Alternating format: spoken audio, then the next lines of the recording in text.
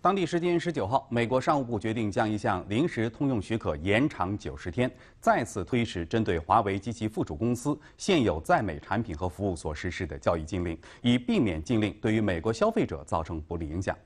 华为公司发表媒体声明表示，反对美国商务部将另外四十六家华为附属公司列入实体清单。美国政府发布的延期临时许可，并没有改变华为被不公正对待的事实。不管临时许可延期与否，华为经营受到的实质性影响有限。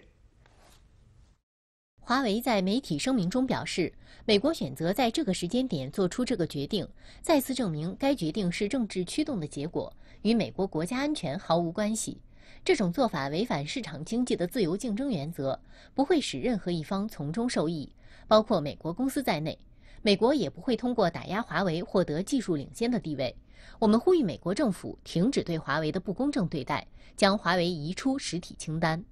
而此前，华为创始人任正非就表示，美国的九十天临时执照对华为没有多大意义，华为已经做好了准备，美国的断供只会让华为更强大。今年五月十五号，美国商务部将华为及其六十八家附属公司列入实体清单。随后，华为旗下的芯片公司海思半导体总裁何庭波宣布，海思将启用备胎计划。五月二十八号，针对特朗普政府颁布的禁令，华为在美提起诉讼，要求法院宣布美国二零一九财年国防授权法违宪。